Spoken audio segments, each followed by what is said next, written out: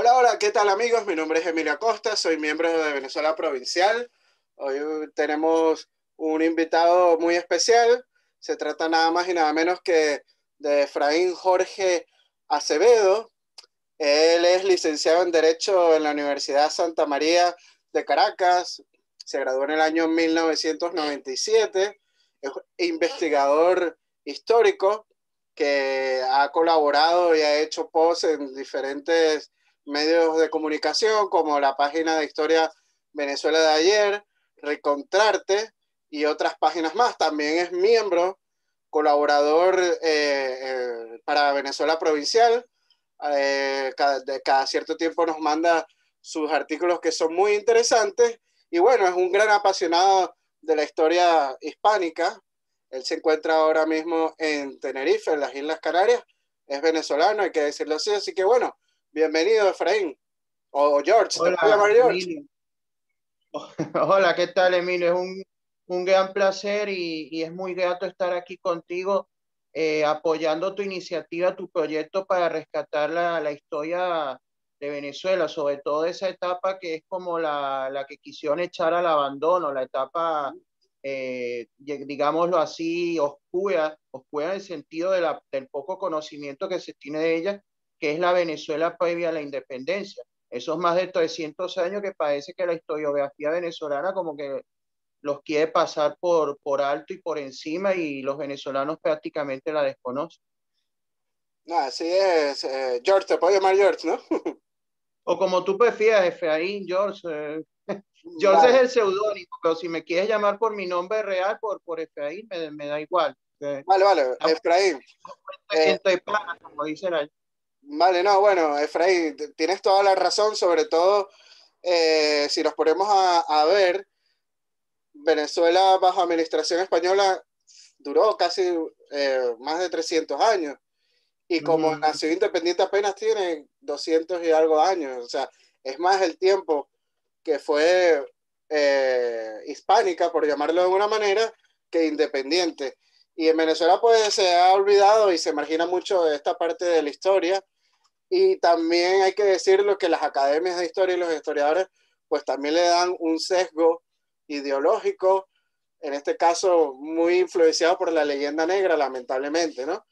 Y uno de esos tabúes que se encuentran uno en, la historiografía oficial en Venezuela es que en la administración española, en la Capitanía General y en la provincia de Venezuela, pues todos esos gobernadores, todos esos capitanes generales, pues fueron gente tiránica, que lo que hacían era robar y maltratar a la gente, eh, gente despótica, que trataba mal a los criollos y a la gente de las otras razas. Y cuando nos ponemos a estudiar la historia a fondo, es totalmente falso, ¿no es así, George?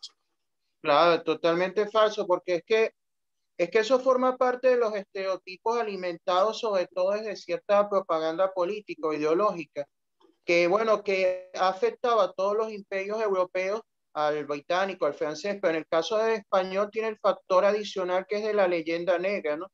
Que entonces nos quiere, eh, quieren, entonces esos estereotipos del gobernador, el, quieren vender la imagen del gobernador que viene de la metrópoli, que viene a, a robar, a saquear, que es un tipo corrupto, quizás mediocre, ineficiente, y entonces cuando tú te pones a analizar, claro, eh, vamos a estar claros, los gobernadores eran seres humanos y de todo hay en la viña del Señor. Hay de todo tipo de gente, nos encontramos todo tipo de gente y por, por supuesto, por supuestísimo, se habían colado unos cuantos sinvergüenzas, pero la inmensa mayoría, en el caso español, del imperio español, tú ves que la inmensa mayoría de los gobernadores enviados a los territorios de ultramar hicieron un esfuerzo, un gran esfuerzo por cumplir sus funciones de manera honesta y eficiente no solamente por un sentido de responsabilidad, sino porque había una fuerte supervisión de parte de la maquinaria de, España a todos los niveles y entonces ellos iban a, cumplir con sus obligaciones y si tú te pones a analizar caso por caso, yo creo que el balance es positivo, que son, son muchos más los gobernadores que hicieron cosas positivas que aquellos que, cometieron verdaderas atrocidades o, o barrabasadas.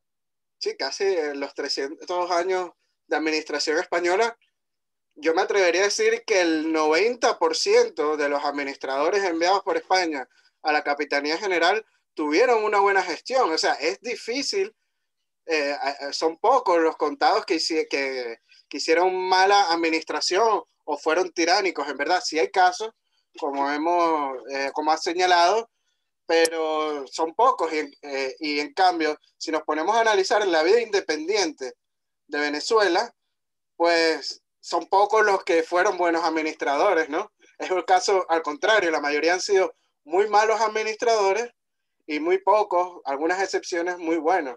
No es un contraste muy llamativo, ¿no lo crees? Claro, no, por supuesto.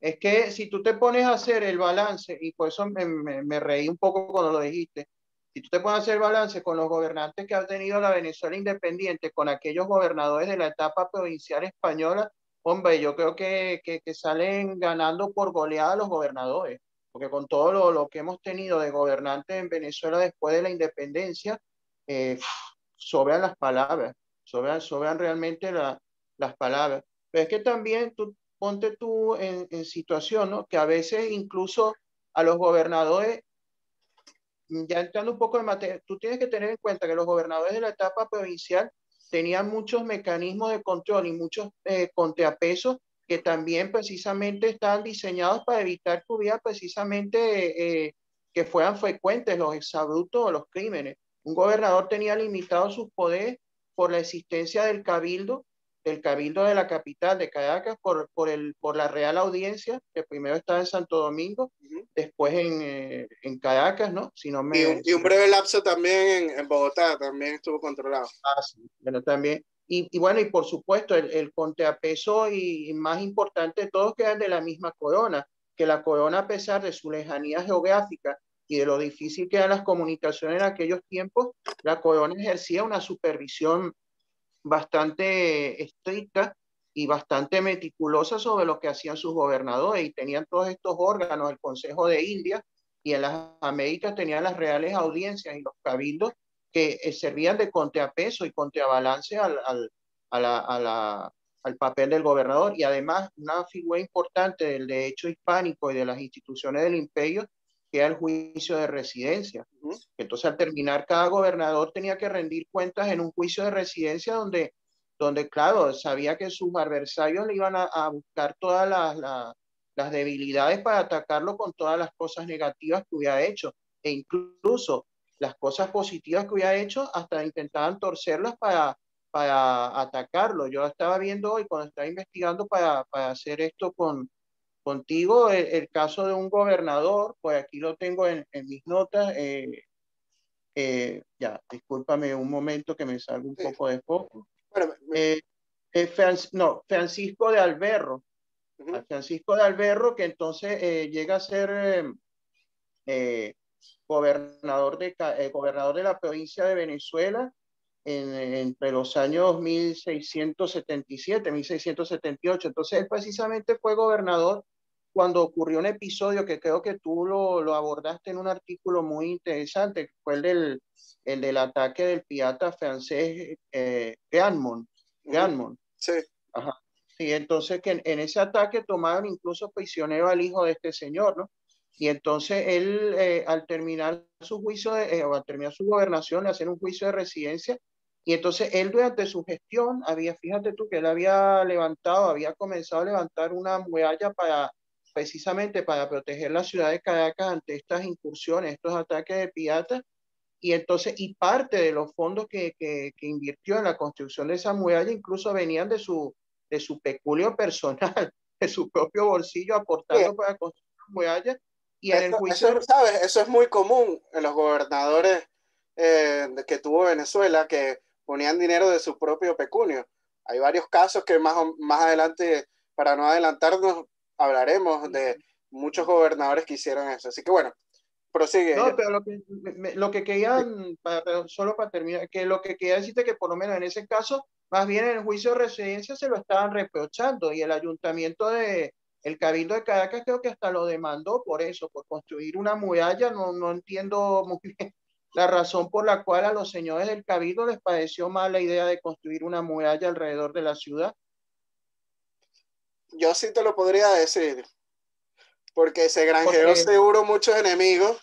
porque el gobernador también era un contrapeso para el cabildo y el cabildo pues ah, estaba eh, mayoritariamente el 90% ocupado por los criollos, ¿no? Y veían, y veían como desde la península mandaban estos gobernadores como también para controlarlos a, ellos, ¿no? Entonces seguro eh, había, como dicen en Venezuela, algún pique entre ellos y, es lo más lógico que haya pasado, ¿no? Pero si nos ponemos a analizar eh, desde el primer gobernador que hubo en Venezuela, que fue Juan Martín de Ampúes, allá por el 1527, ¿no? Que en aquella época la capital estaba en Coro, no estaba en Caracas, pues han pasado innumerables de, personas, ¿no? La lista es inmensa, eh, fueron casi 300 años. Y no solían eh, repetir mucho tampoco. Eh, hay pocos casos que, que, repitieron mandatos y siempre eran sustituidos, ¿no? Y eso es algo que habla sobre de que si una persona tiene bastante tiempo en el poder, se tiraniza. ¿No crees que es así, Sí, por, sí, por supuesto. E incluso hubo una época, yo estuve viendo esta época desde mediados del 17, del siglo XVII para el siglo XVIII, en que lo que se acostumbraba era que el gobernador durara cinco años en su, en su mandato. O sea que generalmente el rey, cuando nombraba al gobernador, le extendía un mandato por cinco años y ya se sabía que solo iban a ser cinco años y, y, y, eh, estando todavía ejerciendo el gobernador eh, en función, el gobernador vigente, ya se nombraba al sucesor, o sea, al que, al que iba a entrar para el siguiente periodo de cinco años. Entonces, de esa manera, como tú dices, se evitaba que un gobernador se perpetuara en el poder, lo cual también es una forma de evitar que hubiera eh, precisamente situaciones indeseables. Y algo muy importante, que si en el juicio de residencia ellos salían bien calificados, pues se le premiaba con una nueva gobernación. Eh, tenemos el, caso de Luis Unzaga, que fue el primer capitán general de la Capitanía General de Venezuela, valga la redundancia. Él era anteriormente gobernador de la Luisiana e hizo un excelente papel como gobernador de la Luisiana eh, fue el primer gobernador que apoyó la, independencia de Estados Unidos antes de Bernardo de Galvez. Y por su España participa en la guerra de independencia de Estados Unidos con, el, con las fuerzas expedicionarias y todo eso. Correcto. Bueno, por su gran labor eh, como gobernador de la Luisiana, el rey Carlos III lo premia con la, como capitán general de Venezuela. Ya algo de mayor categoría porque es una capitanía general y no un gobernador de provincia. Entonces, sí. cuéntame. No, no, eso. Sí, sí, sí, sigue, sigue. Sí, bueno, entonces vemos que si ellos salían bien parados en estos juicios de residencia, pues eran premiados. También eh, lo vemos en los casos de los virreyes, ¿no? Si un virrey lo hacía muy bien en, eh, en el virreinato, por ejemplo, de, la Nueva España, se le premiaba después con el virreinato del Perú. Y, igual, pues era una forma como de, de, de meritocracia. Hacer una, carrera, una carrera en el servicio público, una carrera en el servicio público imperial obteniendo acceso en base a la meritocracia. Correcto. Eh, y, eso, y eso es algo a, a, tomar en cuenta, ¿no? También otro de los controles, de los sistemas de controles que tenían estos gobernadores, eran los visitadores.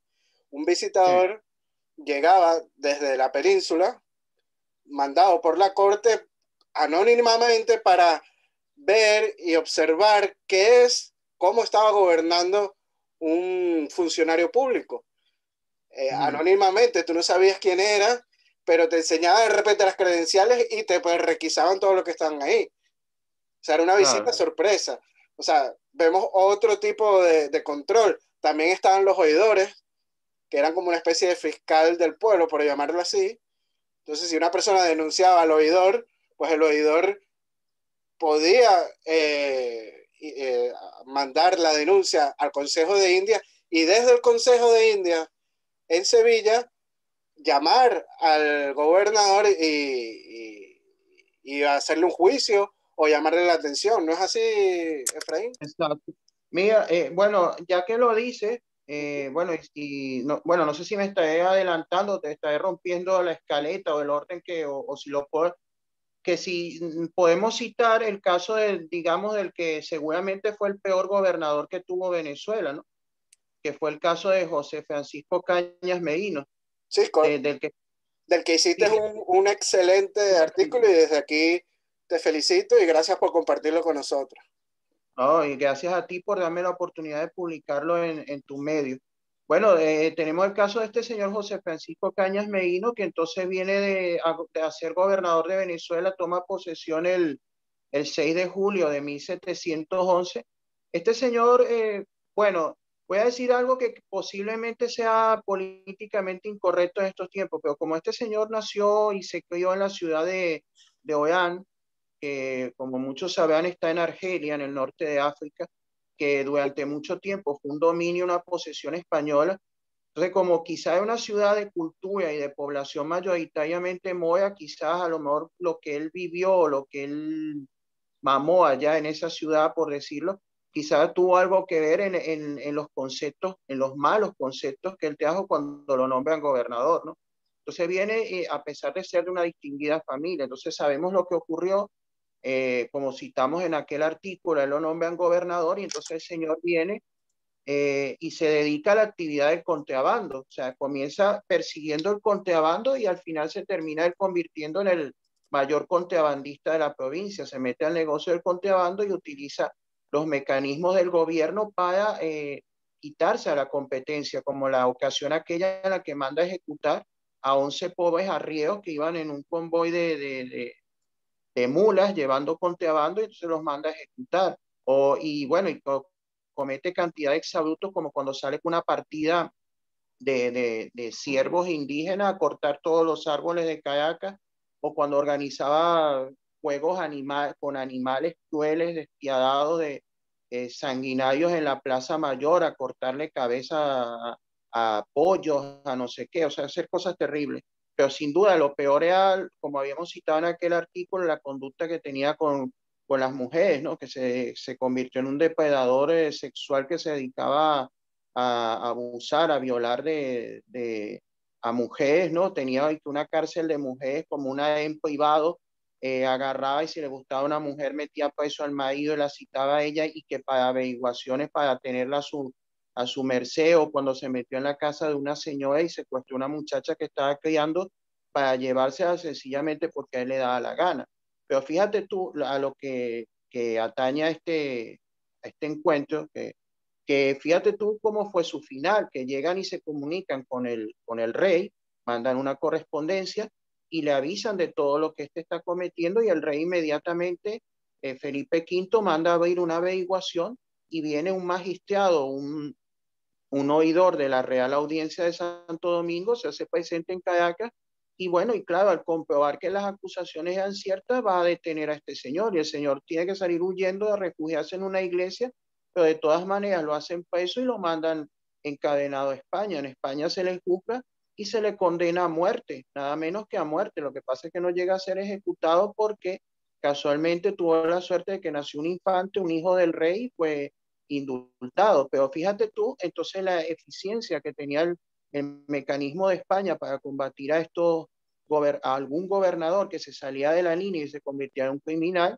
tan fácil como que llega una acusación a la corona, se activan los mecanismos pertinentes, llega un magistrado, un, oidor de la Real Audiencia con plenos poderes, desembarca eh, en Venezuela y, y, ahí no tiene nada que hacer el poder del gobernador, simplemente el oidor mandó a detenerlo aprenderlo y, y, lo mandó encadenado a España. Entonces eso demuestra que eh, incluso cuando eh, había alguna situación terrible con un gobernador, había mecanismos para remediarlo, para solucionarlo y, y hacer justicia de verdad. Ahora ponte tú cuántos gobernantes de Venezuela en la etapa independiente han pagado por sus crímenes. Mm, mm, yo creo que ninguno. por eso, por eso. Sí, eh, no, y yo creo que hay que rescatar eh, ese sistema del juicio de residencia. Yo creo que sería algo espectacular para cualquier democracia en el mundo, ¿no? Que un presidente después de dejar el poder tenga que rendir cuenta de su mandato y hacerle un juicio. Yo creo que habría que rescatar este sistema anticorrupción que tenía el, el, imperio español. Pero bueno, eh, eh, ya, me estoy yendo un poco del tema, regresando al tema, estabas diciendo que Cañas Merino, ¿no? Nació en Orán, en Argelia, y que a lo mejor por, eh, por esa vivencia que tuvo en Argelia, pues fue de ese modo. Pero hay otro caso contrario, que fue muy buen capitán general y nació, pero en la ciudad de Ceuta, también al norte de África, que es el capitán general Manuel de Guevara y Vasconcelos. Él fue capitán general de Venezuela a principios del siglo XVIII y yo creo que tuvo una muy buena gestión. Eh, fue el que mandó a construir ese reloj solar en, Caracas, eh, en esta plaza, ¿cómo es que, que es el venezolano hoy en día? Que antiguamente se llamaba yo hice un artículo sobre esta plaza, eh, ya te digo el nombre de la plaza. Bueno, en fin, lo, fue uno de los que recibió también a Alejandro von Humboldt eh, como capitán general, eh, le dio todas las facilidades a Humboldt. Humboldt habló de que era una persona culta, por llamarlo de alguna manera, y construyó alamedas en Caracas, eh, hizo una buena gestión. Es un caso contrario totalmente a este Cañas Merino, ¿no, Efraín?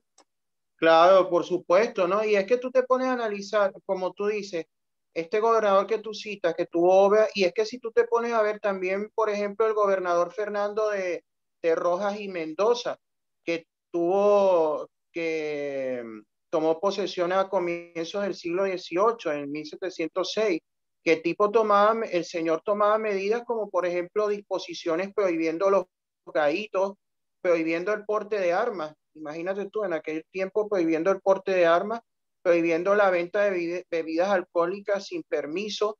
Eh, o sea que eh, eran gobernadores que tomaban medidas adelantadas a, su época. Bueno, tú mismo en, eh, y bueno, y medidas en general de buen gobierno y de, de, de, de buena administración. En, en Venezuela Provincial es una de las cosas positivas que tú has publicado varios posts donde hablas de, ese tipo de cosas, por lo menos de, de, la construcción de hospitales, ¿no? De hospitales, de puentes, de obras de infraestructura. Entonces, no, no eran cosas que eran tangibles, ¿no? Y, y, y que están ahí, que no se pueden eh, eh, desmentir, como de, este señor que, que has, has, citado, ¿no? Sí, y la plaza que estaba hablando de, de Manuel Guevara y Vasconcelos era la, es la Plaza San Jacinto, que en, 1800, ah, en 1808 pues él construyó un, reloj solar ahí. Manda a construir un reloj solar ahí, o sea, lo que era alguien que admiraba la ciencia, pero en la historiografía venezolana se le tiene una leyenda negra a este eh, capitán general porque fue el encargado de enjuiciar, ¿no? A, a, a, Wally España. ¿A quién? A Wally España. Ah, Wally España, sí, sí, de la conspiración de Wally España.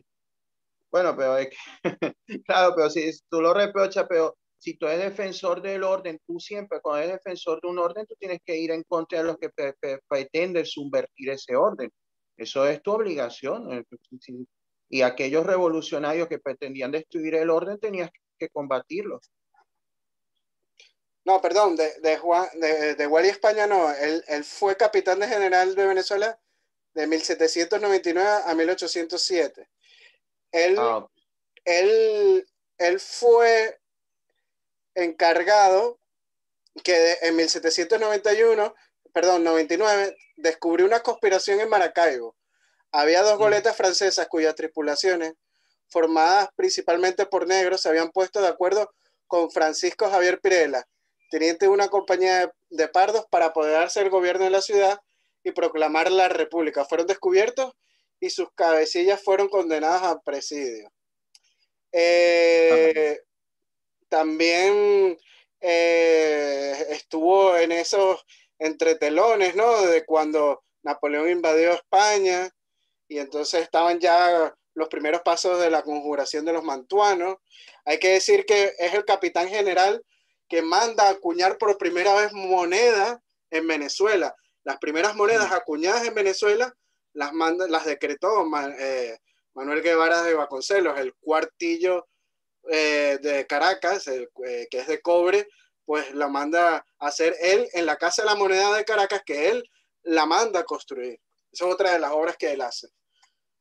Claro, es que, bueno, si, si hablamos de, de, ese tipo de cosas, también, si recordamos otra, publicación que hicimos en conjunto, la de Ponte y Hoyo.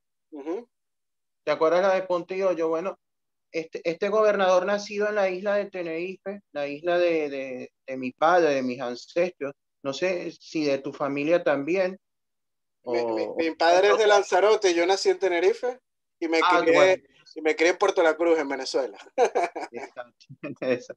bueno, eh, eh, Nicolás Ponte y Hoyo, que ha eh, nacido en Gayachico, en la isla de, Tenerife, y entonces llega como gobernador a Venezuela y se posiciona en, en 1699 eh, bueno, pero este gobernador, mm, aquel que estuvo involucrado, que también hicimos un artículo sobre eso, sobre el tema de la conspiración austriacista, cuando estaba la guerra de sucesión en, España entre el bando borbónico y el bando de los Austria, austriacistas, y entonces Holanda, que estaba en la coalición con apoyando al, al pretendiente austriacista, a Carlos, entonces envían a un tipo, un comisionado, un espía a Caracas y convenció al gobernador de que los, eh, los austrias estaban ganando la guerra y entonces por eso él sacó aquel bando convocando a proclamar a, Carlos como al pretendiente austriacista como rey de, España, ¿no? Esto, pero entonces sabemos posteriormente que este señor cae en problemas mentales, pierde la razón y tal, y una vez más se demuestra la, la, eficacia de la maquinaria de España, porque de la maquinaria del servicio público, porque es un grave problema, por supuesto, que el gobernador de la provincia hubiese perdido la razón, pero inmediatamente por las normativas vigentes, los alcaldes de, del Cabildo de Caracas hicieron cargo de las funciones de la gobernación, que de hecho me percaté repasando, mm, comparando los dos artículos que hicimos sobre el tema austriacista y sobre la locura de, de Ponte y Hoyo, me di cuenta que entonces los alcaldes ya venían ejerciendo, de hecho, las funciones de gobernador antes de que llegara el, el, la declaratoria formal donde lo incapacitaban de la, de la audiencia, de la Real Audiencia de Santo Domingo, porque claro, por la cuestión de la premura del tiempo, me imagino que no podían esperar a que un barco llegara con retraso de meses trayendo la documentación, entonces ellos ya estarían a cargo. Digo que estaban a cargo porque te acuerdas que hubo el incidente este con la milicia de los, de los alcaldes del cabildo. Esto, bueno, y ya para ese momento ellos venían ejerciendo entonces las funciones de gobernador, aunque oficialmente todavía el gobernador no había sido incapacitado. Sí, eh, eh, es una forma de protección que, tuvo, que tuvieron, eh, en este caso el cabildo, ¿no? Ante esta cuestión que no suele pasar mucho, ¿no? Sí, pero es autorizado por, por reales cédulas. Claro, claro. que habían previsto eh, precisamente el caso de que un gobernador se encontrara incapacitado para que los alcaldes ordinarios del cabildo tomaran posesión del, del cargo. Ahora, eh, está leyendo para esto, yo vi que posteriormente hubo otro gobernador, pero ahorita no me acuerdo el nombre, tendría que buscarlo aquí, otro gobernador que a posteriori de ese hecho, unos cuantos años después, eh, solicitó y parece que obtuvo un cambio legal para cambiar ese mecanismo, o sea, para que no fueran los alcaldes los que tomaran las funciones, aunque fuera interinamente el gobernador, sino que fueran eh, otros funcionarios, lo cual disgustó al cabildo caraqueño, por supuesto, porque les estaban recortando sus funciones. Y ese es uno de los factores, bueno, al que tú has hecho alusión antes, que influye, que es precisamente el constante tía y encoge entre gobernador y cabildo, porque el cabildo, los bantuanos, el cabildo siempre sentían eh, esa necesidad como de estar disputando parcelas de poder al gobernador y entonces siempre se están quejando de que les querían recortar funciones, que les querían recortar atribuciones, entonces, entonces siempre había ese estía y encoge entre el, entre el gobernador y, bueno, y posteriormente capitán general y el cabildo. Sí, así es. Hay muchos casos de control. De hecho, posteriormente, ya en el siglo XVIII, eh, hay un capitán general de nombre eh, Manuel González Torres de Navarra, eh, que también quisieron acusarle de que tenía alguna demencia, pero no se le fue demostrado.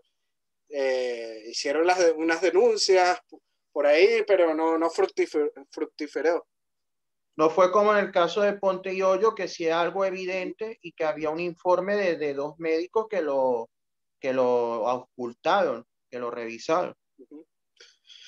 No, bueno, eh, ahora que acabamos, acabamos de tocar el, tema de González Torres y Navarra, que es un gran capitán general, con él eh, hubo un crecimiento económico eh, increíble en la Capitanía General. se creó la Intendencia en aquella época y se produjo un incremento del comercio, de la agricultura, se fomentó la inmigración también, eh, ascendieron las producciones de cacao, de tabaco, de añil, de algodón, de azúcar, las exportaciones de ganado a, las islas azucareras también.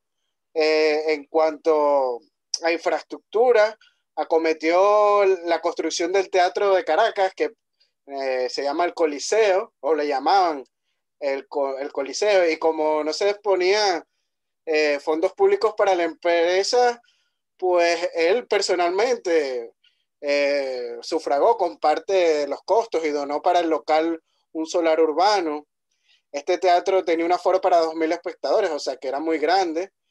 Y este, hay una, una gran eh, historia con Humboldt que desde ahí contempló Júpiter cuando estuvo en Caracas, ¿no? Eh, eh, sí, eh, Humboldt cuando vino para Caracas estuvo en este teatro que construyó este capitán general y desde la, parte del techo pues observó Júpiter. O sea, y también construyó una alameda parecida, dicen los escritos, al Paseo del Prado de Madrid. ¿Qué tal? ¿Qué tal? Imagínate. Bueno, eh, fíjate tú que estaba aquí consultando y específicamente de lo, que, de lo que te estaba diciendo antes, contando antes, fue el gobernador Martín del Ardizábal y el Orza el que consiguió que se dictara una real cédula el 18 de septiembre. A ver, no, ya.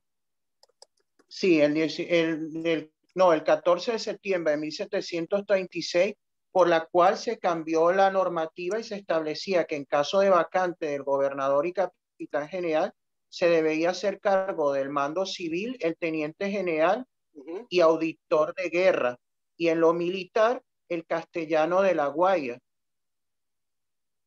O sea, él cambió las, o sea, él obtuvo, eso, obtuvo de la corona que se promulga en San Ildefonso en una real cédula el 14 de septiembre del 36 de 1736 por la cual se cambiaba aquello de que los alcaldes se, se hacían cargo de las funciones de gobernador si había una vacante.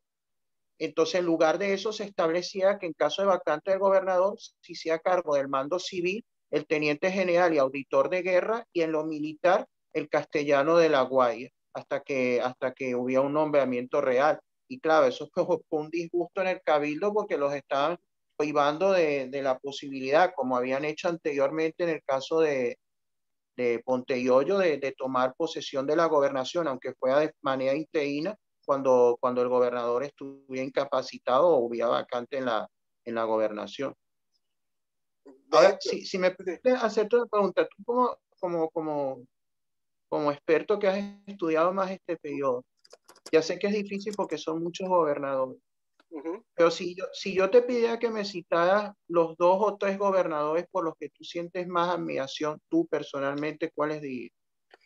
Esa pregunta es complicada porque es que hay muy, muchos gobernadores muy buenos, pero yo creo que el mejor para mí sería sin duda José Solano y Bote, porque gracias a su, a su gran gestión fue que Carlos III toma la idea de crear la, la Capitanía General de Venezuela. O sea, a, a, este gobernador le debemos la creación prácticamente de Venezuela como país actual, porque la Capitanía General de Venezuela representa eso. Eh, claro, la, la territorialmente, unidad. Correcto. Como una unidad territorial, político-territorial de Venezuela, el concepto en sí. Exacto, y después con las creaciones de la Intendencia y la Real Audiencia, también eh, tanto jurídica como de Hacienda o comercialmente, ¿no? Eh, claro. Pero ahora que lo acabo de nombrar, vamos a hablar un poquito de, él y después te nombro eh, los, los otros dos que considero mejores. Él, él, es, él, era extremeño y él fue mandado primeramente a Venezuela eh, como capitán de fragata en 1754, como comisario nombrado por el rey Fernando VI con el objeto de asistir a la demarcación de límites entre España y Portugal al norte del río Amazonas, mediante una real cédula expedida en el Palacio del Buen Retiro el 20 de diciembre de 1757. Acordámonos que en aquella época eh, las fronteras entre el Reino de Portugal y España pues no estaban muy eh, delimitadas, ¿no? Y, estaban los portugueses tratando de expandirse, invadiendo esta zona, y bueno, el rey manda a Solano y Bote para que eh, vaya como comisario a establecer las fronteras, ¿no? Disculpa, yo creo que leí, él no solamente en la cuestión de límites con Portugal y eso, sino me parece que él también recorrió en los alrededores de la isla de Trinidad y que hizo expediciones a través de todos los ríos de la parte, o sea, que, se tiró unas buenas expediciones ahí, ¿no? De, sí, eh, eh, eh, de hecho, la encomienda que le manda el rey duró aproximadamente unos siete años de su vida, o sea, fue bastante tiempo. Viajó por el, por el, por el río Orinoco, estuvo en las misiones, vio el sistema tributario de ahí, en varias oportunidades viajó a Santa Fe de Bogotá para rendir informes al virrey de la Nueva Granada y finalizó la expedición en 1761, que fue ascendido a capitán de navío, ¿no? Y en 1763, pues, lo nombran gobernador de Venezuela y combatió el contrabando contra los ingleses, contra los holandeses que azotaban las costas del litoral venezolano, evitando así la, piratería y el enriquecimiento de las potencias contrarias a España, ¿no?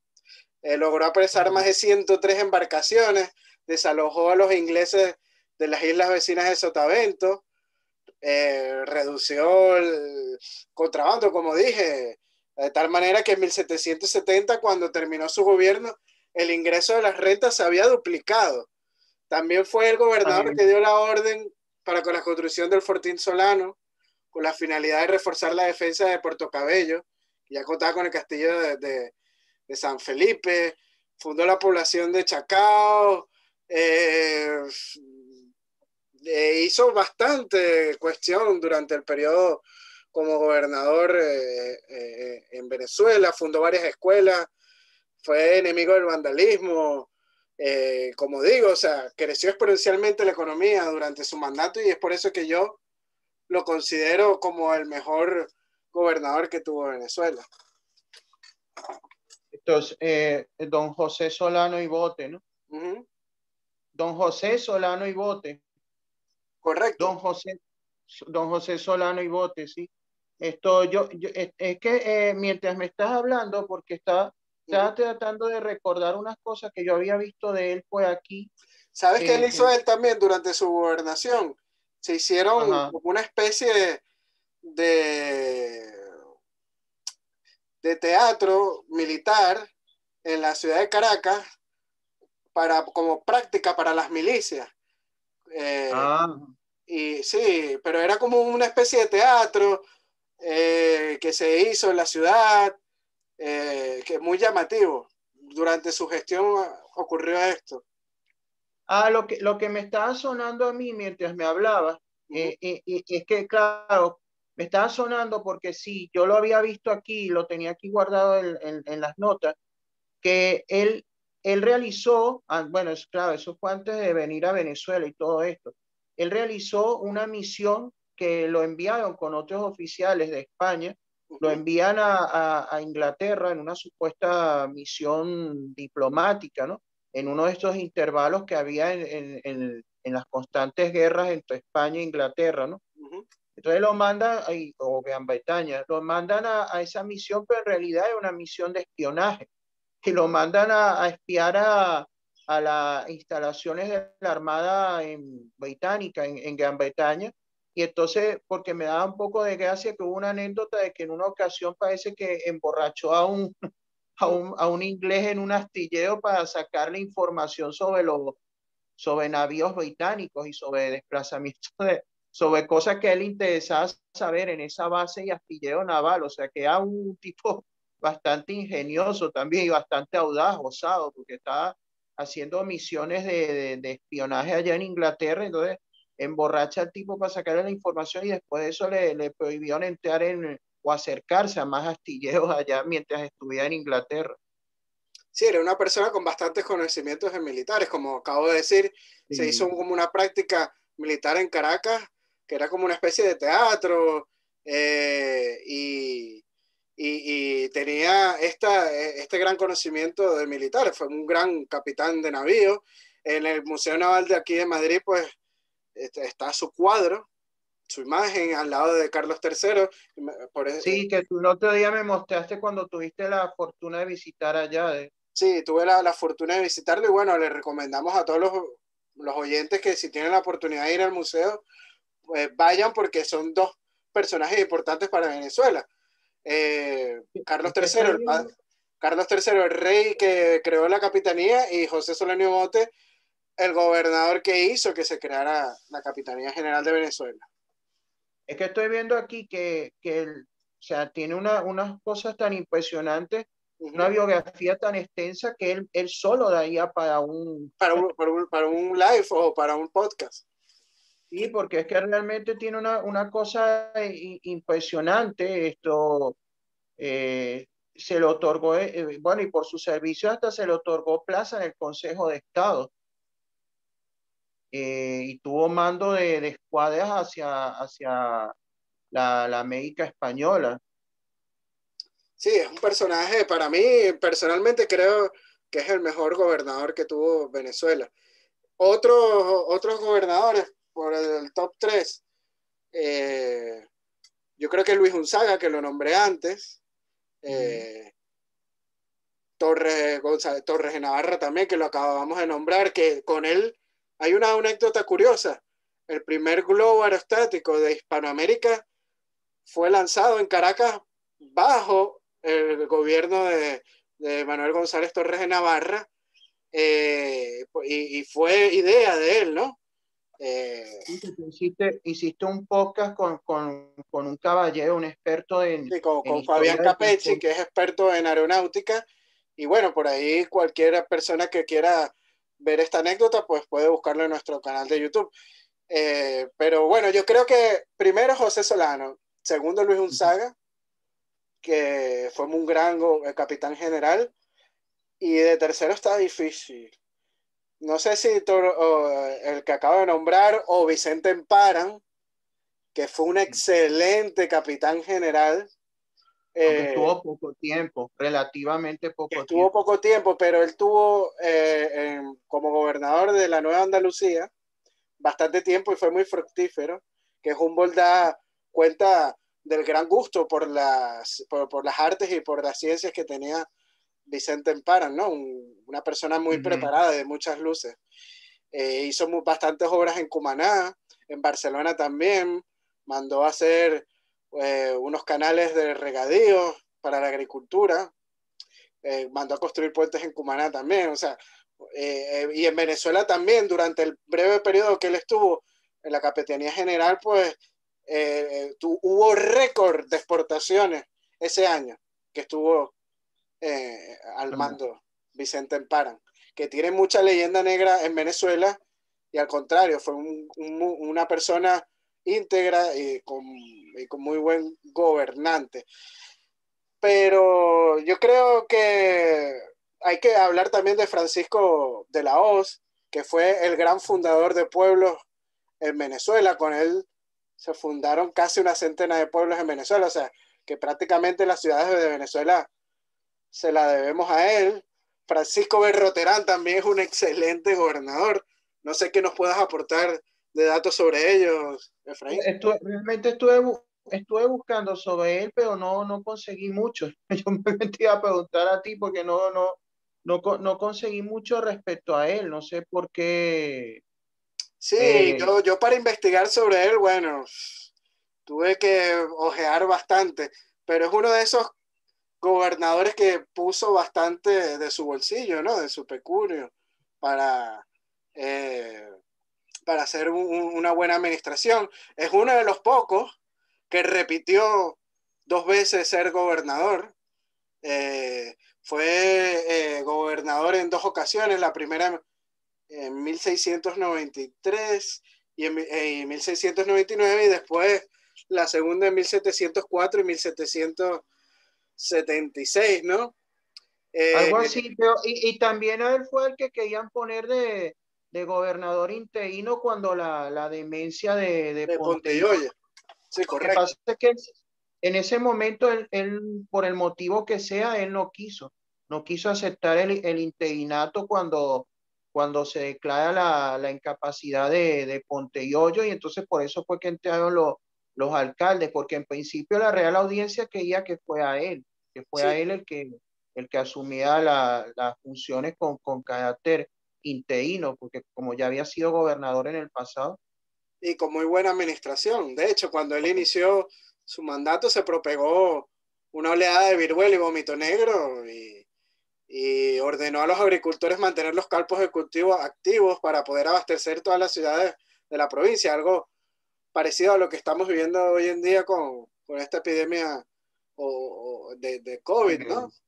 Con esta pandemia, mejor dicho. O sea, ah, si, me, permite aquí, sí, no, para citarte otro gobernador, pero que fue otro gobernador medio polémico, sería Diego Jiménez de Enciso y González de Herrera, que, bueno, que él eh, fue gobernador en, en 1600 a partir de 1688 y en el caso de él fue polémico porque él parece que se dio a la tarea de nombrar eh, tenientes, ¿no?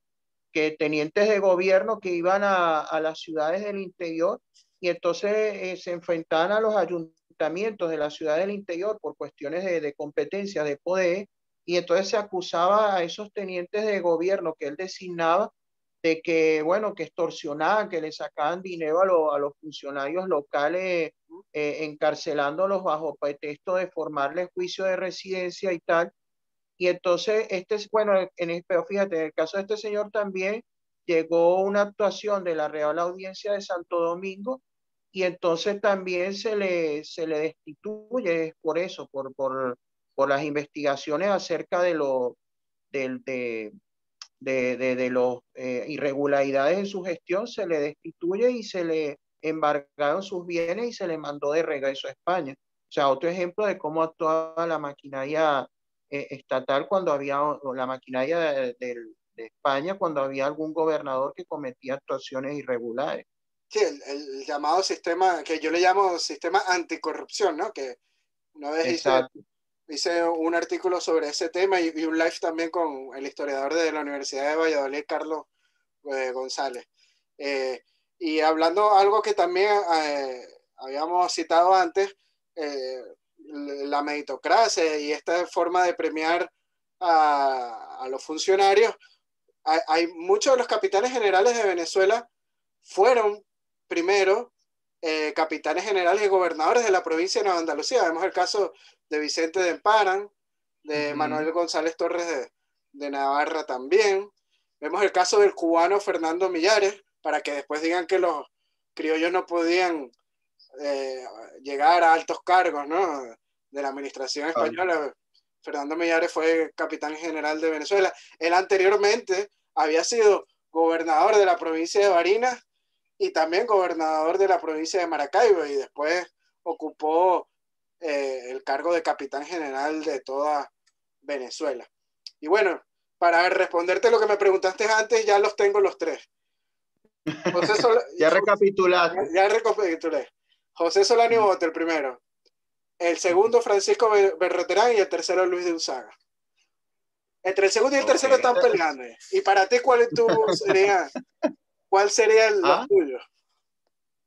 No, yo creo que más o menos casi que coincidimos, porque yo también siento admiración por, por, por eh, Empire y por, por, eh, por Solano y Bote, por lo, por lo que estábamos viendo. Entonces, pero si te, si te digo, nunca me he podido, me he puesto a, a meditar detalladamente en el asunto, porque yo creo que, quieras o no, psicológicamente hasta te influye eso que cuando tú te has criado en, te has criado en Venezuela, que el hecho de que tan, tanto obsesión o exceso de, de atención a la parte de la, de la etapa post-independencia, que, que, no te pones a profundizar a, tanto, bueno, lo hecho es a partir de, de, de, ya de una etapa vital más avanzada de mi vida, te, no te pones a, a, analizar tanto la etapa anterior a la independencia. Y es una pena por, por, porque nosotros lo que estamos hablando aquí de los gobernadores, ¿cuánta gente en Venezuela lo conoce? Muy poca. Y esto es solo una boca. Sí. Solo una boca de exactamente. la lista, la lista es interminable. Interminable, interminable. Entonces, 300 si años, 300 años de ah. administración y cada cinco años prácticamente se cambiaba de capitán general de gobernador. Claro, y si tú, te, si tú arrancas desde los comienzos del primer gobernador, como citaste, de, Juan Ampérez, ¿no?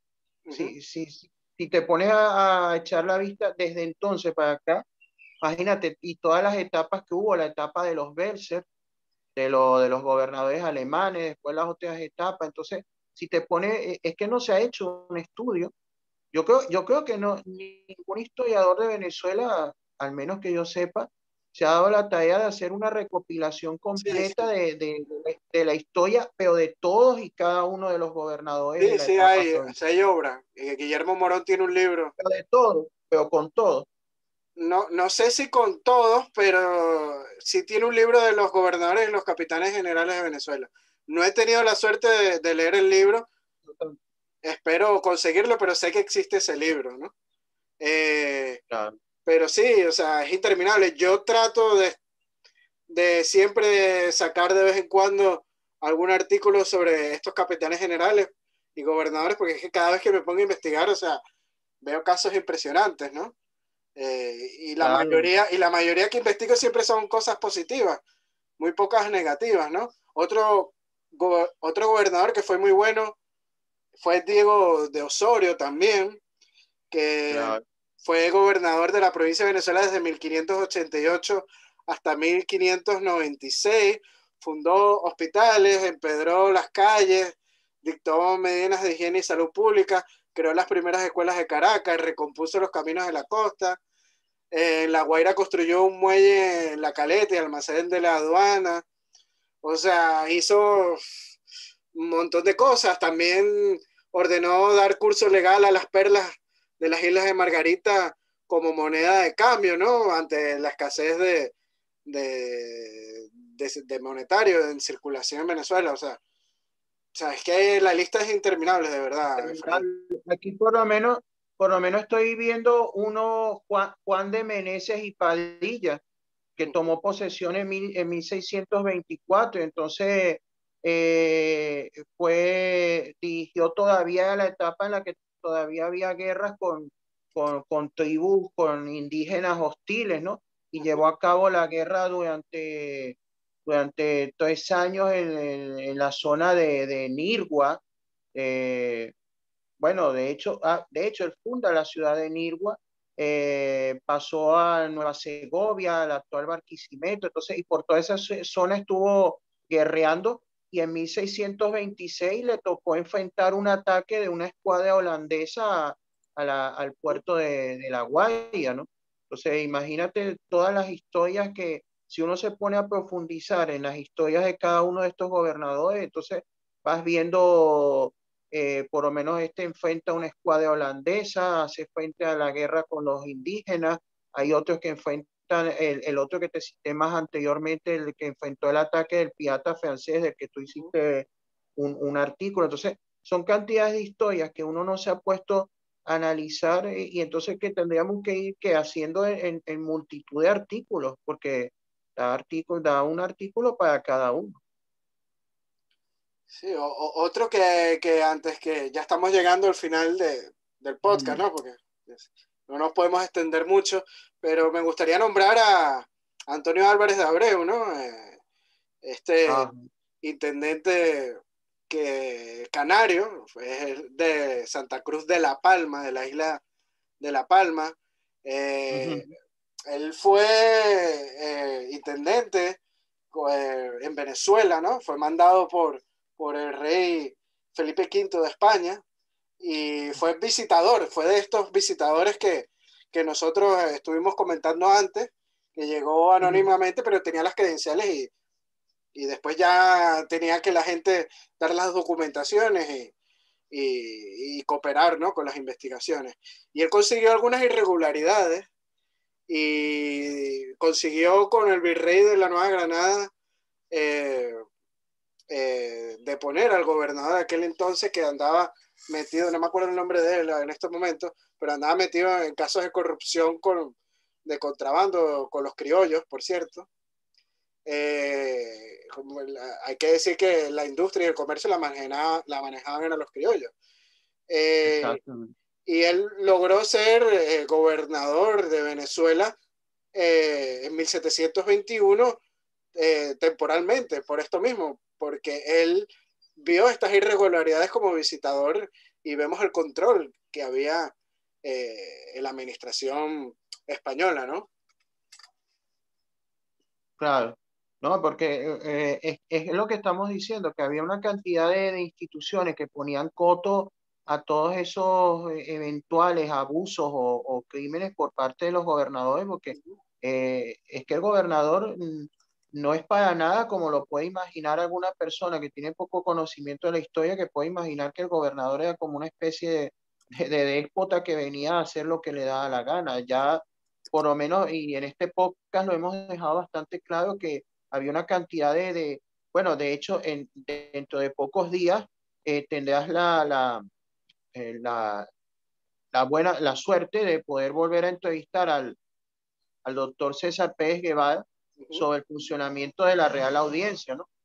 El funcionamiento de la institución de la Real Audiencia, ahí, bueno, podrás tocar también ese tema eh, referido específicamente, preguntarle sobre el tema de los gobernadores, pero que tenemos, ese, eh, tenemos eh, todas estas instituciones, tenemos el, el, el, cabildo, que como hemos dicho antes, el cabildo siempre estaba como presionando para recortar los límites, los, los, poderes del gobernador y, proporcionalmente aumentar los suyos propios, porque no eran ningunos tontos. Estaba la, el cabildo, estaba la Real Audiencia, que, que, que, es un, un tribunal de justicia con, con amplios poderes y facultades que, como ya hemos visto, como contamos en el, en el caso de incluso de Cañas Medino, vino un magistrado de la Real Audiencia a prenderlo, a detenerlo, o sea que un tribunal con, con, con poderes eh, suficientes para detener a un gobernador y formarle juicio. Tenemos el Consejo de Indias, tenemos los, los que tú has citado, los visitadores que venían incluso de, de, incógnito, o sea, que era toda una institución que por supuesto tenía la cumbre la, de la pirámide a su majestad el rey, que era toda una, institución bien estructurada para poner foto a los abusos, a, los excesos que pudieran cometer los gobernadores. O sea, que un gobernador no podía ir por libre, siempre tenía que estar eh, acotado por diversos contrapesos para, para limitar su poder. Totalmente de acuerdo con lo que dices otro gobernador que se nos escapa, porque es que son tantos, que me gustaría citarlo, es Marco Francisco de Betancur y Castro. Un ilustre eh, canario también. Ilustre canario de Codo de los Vinos. Él fue un gran gobernador y capitán general. Él fue el que aprobó la fundación de Curiepe. Hay que decir que Curiepe fue fundado por un negro liberto que era capitán de milicias de Moreno y él fue el que ah, dio la, no, no, sabía ese, detalle. Sí, él fue el gobernador que dio la, la, autorización. No, no, pero no sabía que había sido un, señor, un, señor negro oficial que había sido el, que, el de la población. Sí, él, fue el fundador. Eh, eh, no, me acuerdo ahora del nombre, pero eh, era capitán de las milicias de Morenos, ¿no? Porque hay que decir que existieron milicias, milicias de Morenos en, la época de la Capitanía General de Venezuela. Pero bueno, espero que no se me escape ningún otro, porque es que son tantos y tan buenos. Que la no, verdad... es que, había que hacer varios capítulos para abordarlos a todos. Sí, pero es, que como te digo, eh, es muy poco tiempo y, son tantas las historias tan interesantes y tan buenas que bueno, no sé si tienes ah, alguna en mente. No, no, antes que me acordé que Betancourt fue el que, el que intentó también organizar una expedición para atacar el asentamiento holandés de Tucaca. Lo que pasa es que creo que no ah. consiguió, no consiguió los recursos para hacerlo y por eso aquello tuvo que seguir corriendo, esperando hasta después cuando el virrey de, de Nueva Granada envió la expedición. Uy, no se nos puede olvidar uno muy importante, Gabriel de Zuluaga. Gabriel de Zuluaga. Que fue el gobernador que estaba eh, en la provincia de Venezuela cuando los ataques ingleses de Cabello y, y, y, de La Guaira, cuando el comandante Knowles eh, en la época de la guerra de la, de la oreja de Jenkins, él fue el que defendió personalmente tanto La Guaira como Puerto Cabello y fue un gran gobernador. Si nos ponemos a, analizar su, su, su, administración, pues eh, fue un gran ministro y digno y merecedor. Eh, de, sí. Es que, es que fíjate, ahora que lo mencionas, es que yo lo tenía por aquí, yo lo tenía por aquí que él, exactamente, que él, eh, él derrota a, exactamente a la expedición del... de Charles no. Ah, no, es que creo que incluso derrotó ¿no? dos, ¿no? Primero una del capitán, sí, una del capitán Waterhouse, ¿no? El capitán Waterhouse que atacó la Guaya con, con tres navíos en 1739 y después en marzo de 1743 detuvo otro ataque, el, de, el del almirante Charles Knowles, el que tú mencionaste, ¿no? Entonces, y, lo, y lo hizo, lo rechazó y lo hizo buscar refugio en, en Curazao, ¿no? Y entonces también aquí se menciona de él que, fíjate, no sé si sabes esto, que en 1744 él enfrentó un tumulto en el, en el Tocuyo porque la gente se sublevó contra la leva o sea, la leva hay que decir que el reclutamiento para la... O sea, hubo gente que se sublevaron. Sí, el reclutamiento forzoso, la leva para formar milicias destinadas a la defensa. Y entonces la gente lo recibió como un pretexto para prestar servicio a la compañía guipuzcoana, que tú sabes que era muy polémica en aquel tiempo. Y entonces, pero fíjate tú, el actual, el proceder de este hombre, que él no quiso someter la revuelta por, por la fuerza, sino que utilizó la persuasión para convencer a, a los amotinados que depusieran su actitud y se, se, se avinieran ¿no? a lo, al, al, al, orden. ¿no? Y fíjate tú que en premio a su servicio, a ese le dio el título de conde o marqués de Torre Alta, pero lo que es más importante, que después de pasar por la gobernación, como decías tú, que muy bien lo dijiste, que todo esto es una carrera que se hacía en el servicio público y tú ibas ascendiendo peldaños si tú hacías las cosas bien como era debido. Posteriormente a lo de Venezuela, él fue promovido nada menos y nada más que a, la Capitanía General de Andalucía, Capitán General de Andalucía, y, también fue comandante general de Guipúzcoa, eh, comandante general de Guipúzcoa, y fue consejero del Consejo Supremo de Guerra en Madrid. O sea que no fue ningún personajillo de, de segunda, fue todo un, un hombre de Estado de los más importantes de su época porque demostró su valía. Sí, sobre todo militarmente, ¿no? Eh, y administrativamente también fue muy bueno. el, juicio de residencia sobre su gestión en Venezuela, eh, lo, voy a leer lo que pronunciaron. Un momento, ya te lo busco. Dice, este, este es la pronunciación sobre el juicio de residencia de Gabriel de Zuluaga. Declaramos igualmente al expresado conde de Torrealta, don Gabriel de Zuluaga, por bueno, recto, celoso y justificado, ministro digno y merecedor de su majestad le honre y premie con otros mayores empleos de su real servicio. Así termina la, sentencia del juicio de residencia de Gabriel de Zuluaga. Por su claro, en Venezuela. ¿eh? Claro, por su servicio, su servicio en Venezuela fueron los que lo catapultaron después a, eh, precisamente a que se le hiciera ese, ese reconocimiento como, como, como tú dices, que estás citando en el juicio de residencia, y posteriormente por eso es que lo designan eh, capitán general en, en Andalucía y, y, miembro del Consejo de Guerra en Madrid, todo ello a consecuencia del buen trabajo que había hecho en Venezuela, de su excelente hoja de servicio. Algo, algo parecido sucede con Luis de Usaga, el primer capitán general de la Capitanía General, eh, que fue promovido después a, como gobernador de, en, en Málaga y murió en Málaga en Andalucía, en la, en la, península, ¿no? O sea, siempre eran promovidos por su buen servicio. Y, y no sé si nos, se nos escapará alguno, pero es que de repente se me viene uno, se nos iba a pasar nada más y nada menos que Gabriel de Zuluaga, que, que es uno de los grandes.